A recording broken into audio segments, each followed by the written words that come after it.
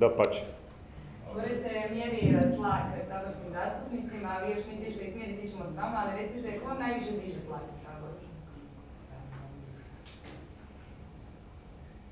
Neću biti osoban, reći ću da mi najviše, najviše mi tlak dižu neodgovorne politike prema ovoj zemlji. Dakle, ljudi koji e, bi trebali i imaju pravo na svoje razmišljanje, apsolutno kako god, ali koji radi svog, svoje fotelje i svog položaja zanemaruju nepravde koje su toliko velike da samo je pitanje kojeg trenutka i koje populacije se dotičemo.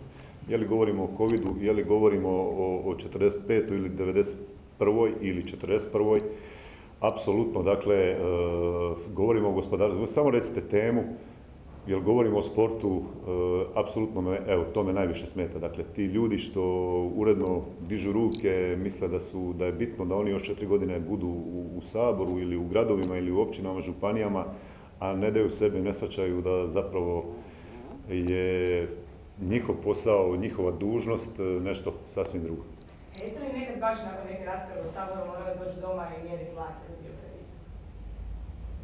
Imam tu situaciju puno češće u samom gradu, nažalost. E, to, je, to je posljedica borbe za svoje uvjerenja. E, to je posljedica e, ulaganja i svatko tu ima koji ima emociju. Tako da to je taj križ s jedne strane. Ako iskreno ste u tome, onda vas to i troši i uzima.